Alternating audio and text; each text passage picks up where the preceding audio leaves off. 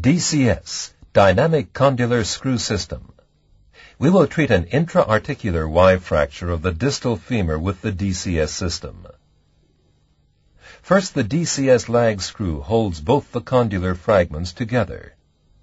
And then the DCS plate, which lies along the lateral cortex, connects the condylar fragments to the shaft.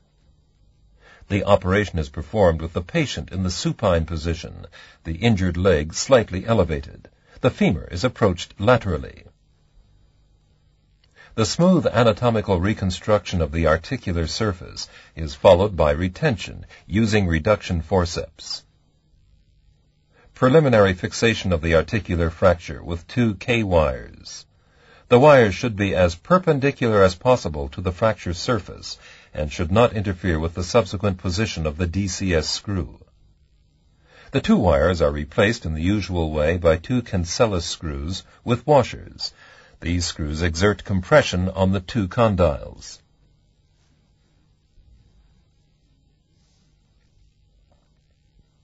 Make sure once again that the articular surface has been anatomically reduced. To determine the entry point of the DCS screw, we view the femur from the lateral aspect and divide the largest sagittal diameter of the condyle into three even parts. Two centimeters from the knee joint, mark the bone at the intersection of the anterior and middle third. To determine the direction of the DCS screw, mark the knee joint axis with a K-wire, here in green. The DCS screw should be perpendicular to the lateral condyle and parallel to the knee joint axis. A second wire, red, therefore marks the position perpendicular to the condyle.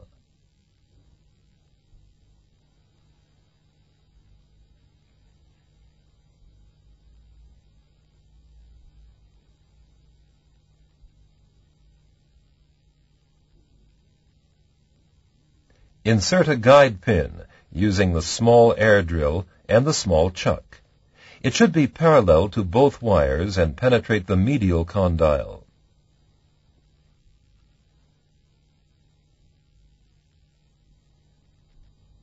The assistant surgeon, to the right, checks that the guide pin is parallel to the condylar wire. The surgeon makes sure that it's parallel to the knee joint axis. The guide pin should not perforate the opposite cortex.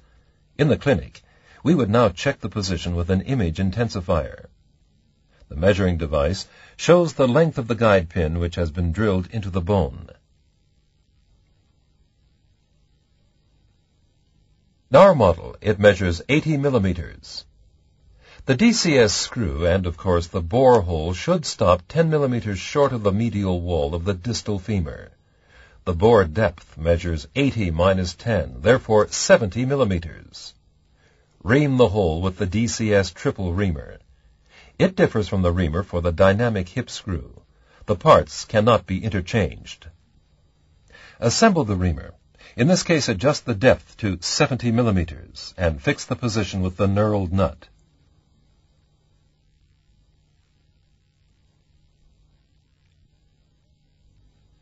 The front part drills the hole for the lag screw. The middle portion drills a larger diameter hole for the barrel of the plate, and the back part countersinks the cortex for the connection between the plate and barrel. Place the reamer into the universal drill and slide it over the guide pin. Drill the tunnel for the DCS screw in one procedure. If the guide pin has been loosened during drilling, it's important that it be correctly repositioned. To do so, insert the centering sleeve into the drill hole and place a long DCS lag screw backwards into the sleeve. The guide pin can easily be repositioned using this system as a guide. In our plastic models, as well as in hard cancellous bone, threads must be pre-cut with the DCS tap. Slip the centering sleeve over the tap with attached T-handle and fix with the nut. Slide the tap over the guide pin. Place the centering sleeve in the drill hole and tap the entire bore depth. In other words, until the 70 millimeter mark reaches the lateral cortex.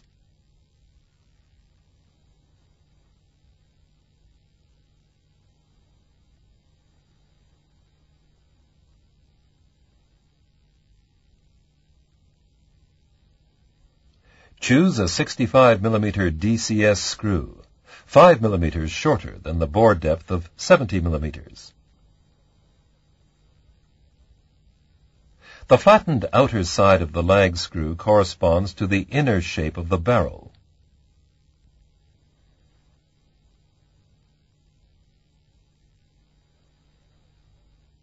Slide the barrel of the plate over the wrench. Take care that the flange of the wrench and the slot of the screw properly interdigitate. The coupling screw within the wrench is then screwed into the inner thread of the DCS lag screw and tightened.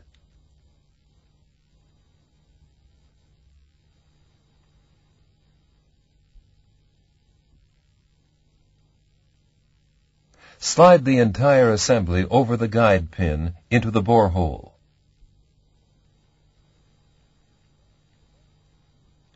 Drive the screw in until the 5 mm mark on the DCS wrench reaches the lateral cortex. This means that the tip of the screw is 10 mm away from the medial wall. In osteoporotic bone, the screw can be inserted 5 mm deeper. After the last turn, the T-handle of the wrench must be parallel to the femoral shaft. This way, the DCS screw is in its correct position to allow the plate to slide over the screw. Remove the centering sleeve and slide the plate barrel over the lag screw onto the bone.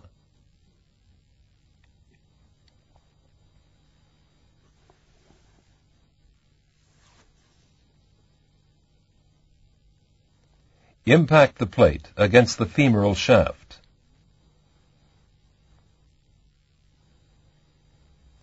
Remove the coupling screw, and using the small air drill in reverse, remove the guide pin. Insert the compression screw. This produces interfragmental compression of the joint fragments.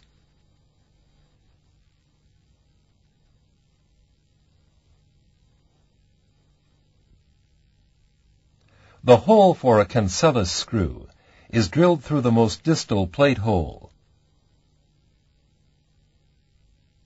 The length is measured.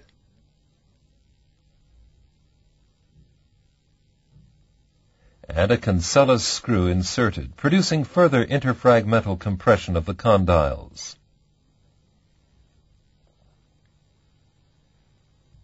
Axial compression of the supracondylar fracture plane is produced using the articulated tension device. No screw is placed through the fracture area. The remaining plate screws are inserted.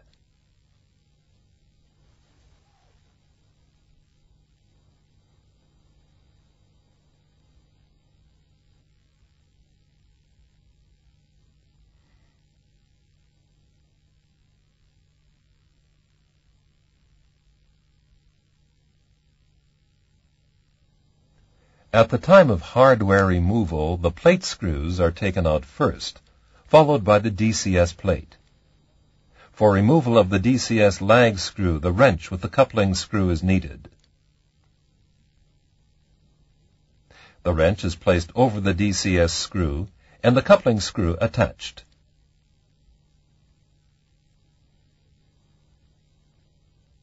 The DCS lag screw can then be removed without difficulty.